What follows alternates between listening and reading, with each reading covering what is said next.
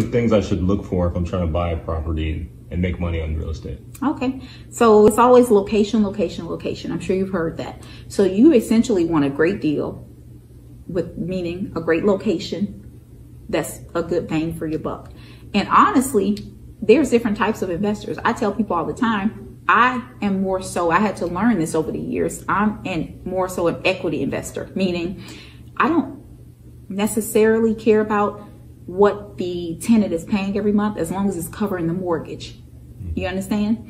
Meaning I don't need to get um, money off, money's off of it every month, a, a large amount. I don't need that. I like, I go for the bigger bang for your buck. I want them to pay my mortgage down so I can have all that equity in the property. And with equity, like how does that tie into like cash out refinancing and, and things like that? That's a great question. So you can, when you buy your own, I tell most people to buy your own personal property first. You know, and I have clients that call me and, and essentially it's just because they feel like they're behind the eight ball, if you will. And I understand that. We all understand that feeling, right?